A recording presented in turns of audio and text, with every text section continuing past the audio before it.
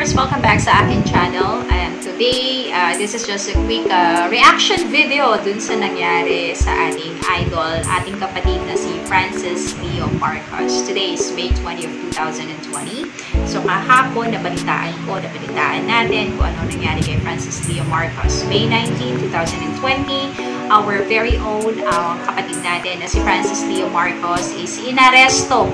Na-aresto ng NBI. Alright, so for three cases. The first case was actually the violation of RA 8050, which is the violation of optometry law.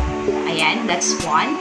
And second case niya is the violation of RA 9262, which we all know as a violation against women and children. At yung pangatlong kaso, ito yung pinakamatinding kaso na, na sinampa kay Francis Leo Marcos, and uh, this is the uh, violation of RA 9208 which is the human trafficking. I'm not gonna discuss about those cases.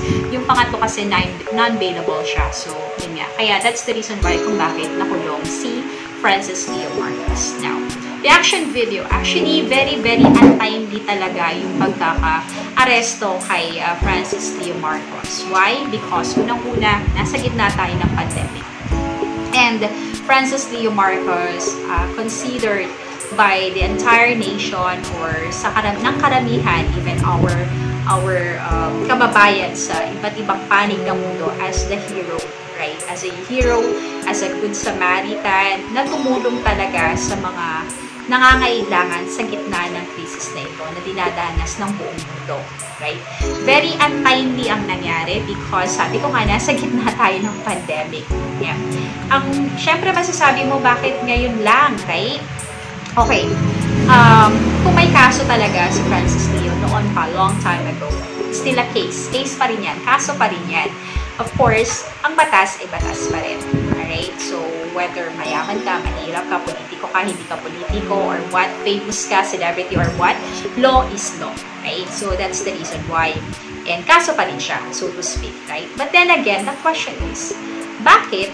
Hindi, hindi ang tanong kung bakit ngayon lang. Ang tanong ko is for Francis Leo Marcos, if knowing na ako mismo, ikaw, or tayo, may kaso, bakit ka lalabas sa social media, bakit ka lalabas sa YouTube, sa Facebook, papangalandakan mo uh, ang iyong kayamanan kung alam mo may kaso ka. So, being a, a rich person, di ba? May bahay sa Japan, kung saan-saan, maraming pera. Kung ikaw ay may kaso, di sana nagtago na lang, di ba? So, kung may kaso talaga, right? So, yun nga yung question to eh. Medyo alangan tayo dun sa part na yun, di ba? Kung ikaw may kaso ka, bakit ka palalabas? Para pangalanda ka ng yaman mo. Bakit hindi mo nalang sarili niyan, lumabas ka ng bansa, magpa-plastic surgery ka, o di ba? Tapos bumalik ka, saka mo gawin. Or medyo magulo lang talaga. But then again, ang, ang sinasabi ko lang dito is that kapag ang isang puno ay hitik sa bunga talaga, malagong malago, mabungang mabunga, ang mga tao babatuhin yan para makuha yung bunga niya right? And that is what's happening right now.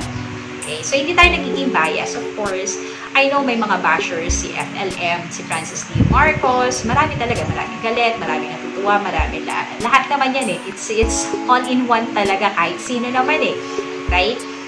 So, dito sa point na to, medyo, syempre nakakalungkot lang para sa mga taong natutulungan at sa mga taong sumusuporta para kay uh, Francis Leo Marcos. So, sana lang matapos and uh, ma, ma, maka, makalaya siya.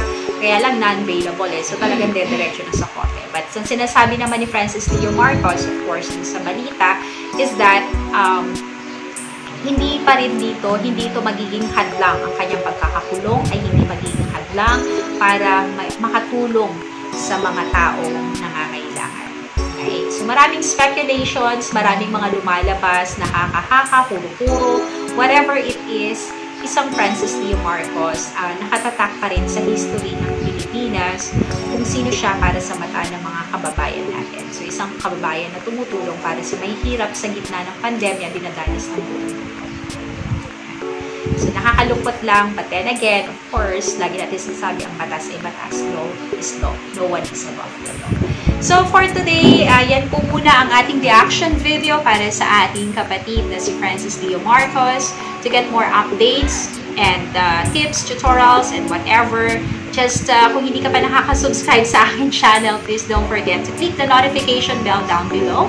And also click the uh, click uh, the subscribe button, click the notification bell so that you'll get updated sa aking mga latest video. Once again, Dynamiters, isa na namang pasabog sa araw na ito. Thank you so much for watching and you guys have a great day. Keep safe all the time.